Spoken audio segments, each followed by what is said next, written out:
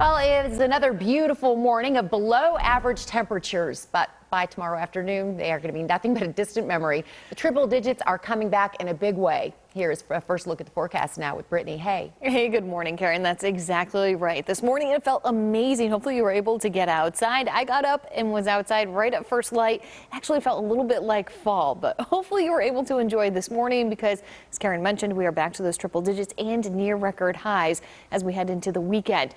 But at DFW, we're 83 degrees right now. Check out this dew point. They're in the mid 50s. That means it's dry air and it feels really nice outside. And the lower those dew points, that also allows our temperatures to drop off a bit more overnight. Our temperatures are sitting at 83 in Denton, 84 in Fort Worth, 81 this morning in Greenville, and 84 in Waxahachie. Today we'll see those temperatures climbing into the mid 90s. We'll top out about 96 degrees around 4 p.m.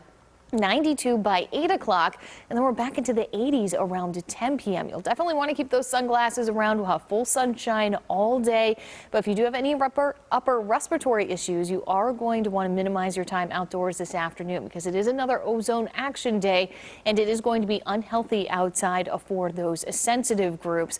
But today we're going to enjoy our 96. I know it seems kind of hard to believe, but we are because tomorrow we are back to 108 degrees.